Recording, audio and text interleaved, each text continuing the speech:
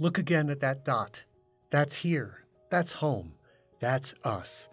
On it, everyone you love, everyone you know, everyone you ever heard of, every human being who ever was, lived out their lives. The aggregate of our joy and suffering, thousands of confident religions and ideologies and economic doctrines, every hunter and forager, every hero and coward, every creator and destroyer of civilization, every king and peasant, every young couple in love, every mother and father, hopeful child, inventor and explorer, every teacher of morals, every corrupt politician, every superstar, every supreme leader, every saint and sinner in the history of our species lived there, on a mote of dust suspended in a sunbeam. The Earth is a very small stage in a vast cosmic arena. Think of the endless cruelties visited by the inhabitants of one corner of this pixel on the scarcely distinguishable inhabitants of some other corner. How frequent their misunderstandings, how eager they are to kill one another, how fervent their hatreds.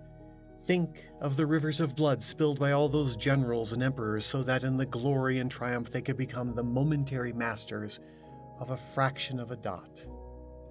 Our posturings, our imagined self importance, the delusion that we have some privileged position in the universe are challenged by this pale point of light.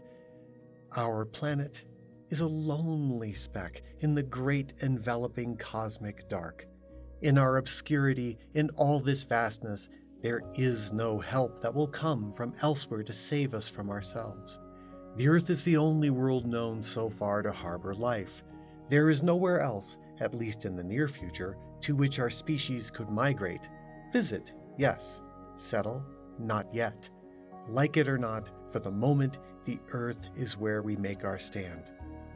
It has been said that astronomy is a humbling and character building experience. There is perhaps no greater demonstration of the folly of human conceits than this distant image of our tiny world.